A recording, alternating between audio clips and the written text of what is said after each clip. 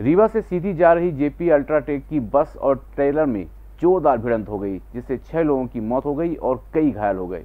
रीवा सीधी मार्ग पर एक भीषण सड़क हादसा हो गया। हादसे में छह लोगों की मौत हो गई, वहीं कई लोग घायल हो गए।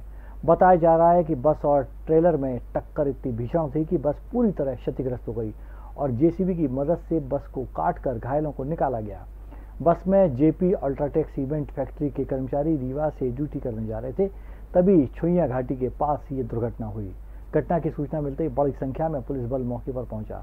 वहीं घटना के बाद घंटों मार्ग अवरुद्ध रहा घायलों को प्राथमिक उपचार के लिए स्थानीय स्वास्थ्य केंद्र में ले जाया गया जहाँ से गंभीर रूप से घायलों को जिला चिकित्सालय सीधी रेफर किया गया।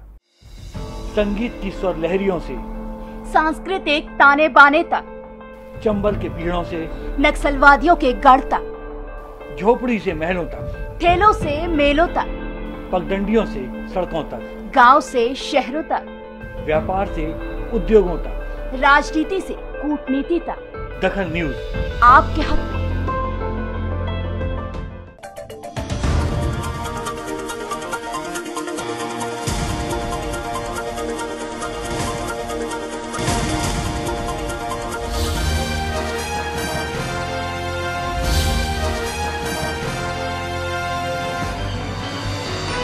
आप देख रहे हैं दखल न्यूज़।